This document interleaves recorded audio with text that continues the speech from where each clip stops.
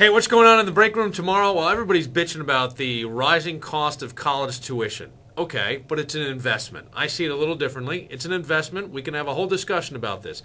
But what are you investing in? We will tell you where you can go see what some college students locally are up to. What are they confessing to? We'll read you some of their confessions. This is what they or their parents or somebody's investing in. And this one college in particular in this town cost right now close to $40,000 a year. Room and board, $40,000 a year. And wait till you hear what that investment is is turning out. Wait to hear it. Tomorrow in the break room. Plus you on 96.5 WCMF.